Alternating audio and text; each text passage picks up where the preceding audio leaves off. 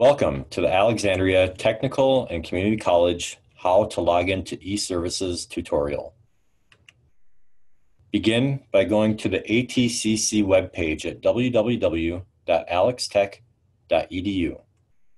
On the right side of the page, select the My ATCC text. This will bring you to the My ATCC login page. Rather than logging in here, we're going to select the house icon that says eServices below. This will bring you to the eServices login page where you will enter your star ID and your password.